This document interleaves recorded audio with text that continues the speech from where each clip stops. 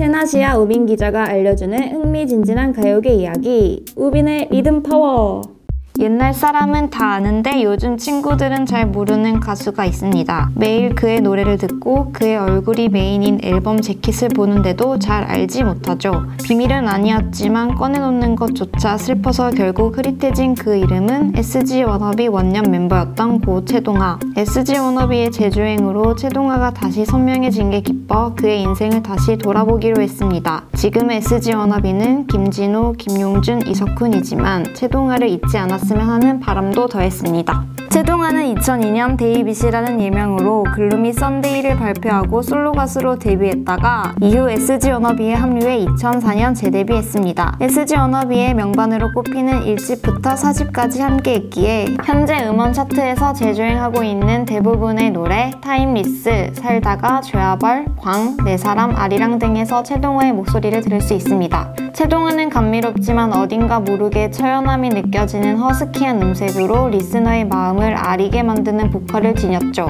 찬란하게 슬픈 감성과 애절한 목소리, 단정하게 생긴 외모는 채동하를 스타의 길로 이끌었죠. SG 워너비의 전성기를 이끌었던 채동하는 사집을 끝으로 2008년 5월 SG 워너비를 떠났습니다. 당시 소속사는 채동하가 연기 활동을 위해 팀을 탈퇴했다고 했지만 이는 모두 거짓. 채동하는 SG 워너비로 활동하면서 5년 가까이 쉬지 않고 활동하며 휴식을 간절하게 원했습니다. SG 워너비를 떠난 뒤 은퇴까지 생각했던 채동하는 뮤지컬 안녕 프란체스카를 하면서 무대에 다시 서기로 결심했고 팀 탈퇴 1년 6개월 만인 2009년 11월 첫 정규 앨범 에세이를 발표했습니다. 에세이는 에세이 형식으로 인간 채동하, 가수 채동하의 인생이 담긴 앨범 자작곡도 수록했고 수년간 쓴 일기의 일부를 발췌해 심정을 담았죠. SG 워너비 탈퇴를 두고 나오던 불화설, 연기자 겸업설 등 오해를 깨고 스스로 하던 고민에 대한 해답을 내리고 싶었거든요. 채동하의 에세이는 진심이었습니다. 미니 앨범 디데이와 박지영과 듀엣을 결성해 냈던 싱글 어제 같은 데까지 내며 잘 지내는 것 같았던 채동하는 아무런 준비 없이 갑자기 팬들의 곁을 떠났습니다. 채동하는 2011년 5월 27일 서울 자택에서 숨진 채 발견됐습니다. 많은 사람들이 그가 떠난 원인을 생활고와 우울증으로 추측했는데요. SG 워너비의 명성에 비해 턱없이 적었던 정산, 골든디스크 세번의 대상에도 손에 쥐지도 못했던 상금, Timeless 성공에도 버스 요금 천원도 없었을 정도로 생활고에 시달려 새벽에 신문과 우유 배달을 했다던 그의 인터뷰들이 뒷이야기를 대신했죠.